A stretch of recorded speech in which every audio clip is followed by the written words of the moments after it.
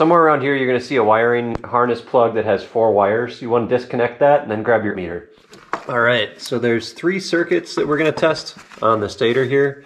The 12 volt circuit, the high speed circuit, and the low speed circuit. What you're going to need to do here is kind of look at the color of the wires. All right, so we're going to test the white to black. It should be 25 ohms. Instead I'm getting 44 ohms for some reason. I'm not sure why. Now we're going to test white to green. So it should be 450 ohms and I just got 438 ohms. That's pretty close. Now we'll do white to black and we're going to be hoping for 470 ohms.